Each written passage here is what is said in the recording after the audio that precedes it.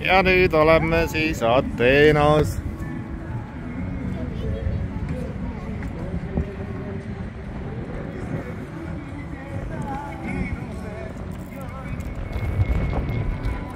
ja hull kuumus on.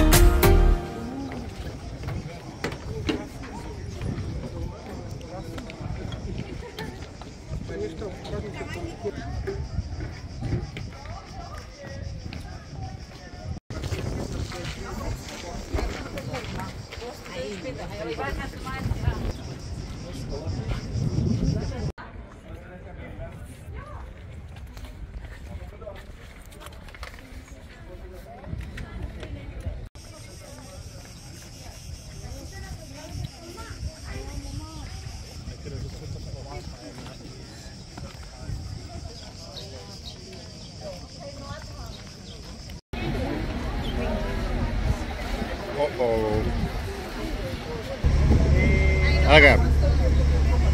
no soovitajad, kui ta oli?